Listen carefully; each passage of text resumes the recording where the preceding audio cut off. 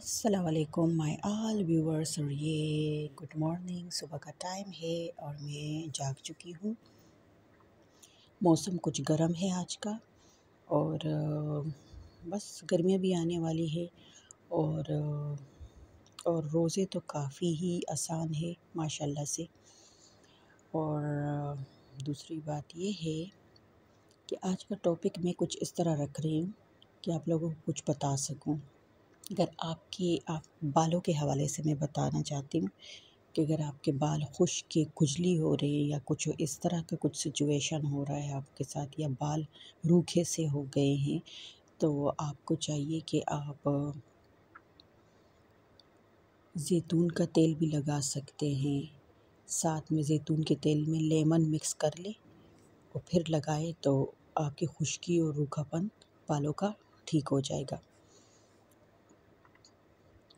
और फ्रीज़ी फ्रीज़ी बाल नहीं होंगे, नरमा मुलायम बाल होंगे। ये तो आज का टॉपिक था जो मैं बता चुकी, बता रही, बता चुकी हूँ सॉरी और ये देखिए, बाहर धूप है, काफ़ी तेज़ धूप है।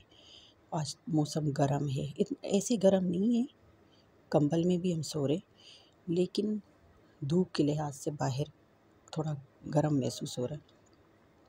अच्छा तो अभी बस इबादत का वक्त था, इबादत कर चुकी हूँ। जितना करना था, जितना मेरी, जितनी मेरी मुझमें एनर्जी थी, मैं कर चुकी हूँ। बस यही नॉर्मल सी रूटीन है जो मैं आप लोगों के साथ शेयर करना चाह रही हूँ। आप लोग बताइए कि आप रमज़ान में क्या करते हैं? आप लोगों को क्या रूटीन है? और किस तरह से आप रमज़ान को गुज़ारते हैं? क्या वो रमज़ान में आप वॉक करते हैं या नहीं?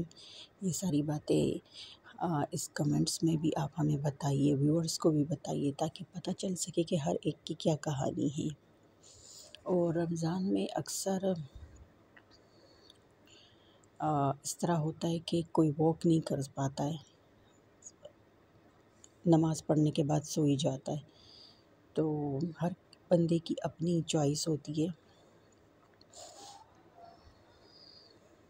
और, यहाँ तो बस अब मैं नीचे जाऊँगी देखूँगी कि नीचे क्या हो रहा है। और आज मैंने कुछ डिशेस वगैरह आप लोगों के साथ इसलिए शेयर नहीं की कि मैंने सोचा कुछ टॉपिक पे बात किया जाए। रमज़ान की चीज़ें मैंने आप लोगों से शेयर इसलिए नहीं की इस दफ़ा इस ब्लॉग में कि मैं आप लोगों को कुछ नुस्खे वगैरह बता सकूँ। और हाँ जब आ, आप अगर कुछ टेबलेट लेना चाहते हैं तो विटामिन ई का टेबलेट ले सकते हैं, लेकिन इससे पहले आप ऐसे करके आप डॉक्टर से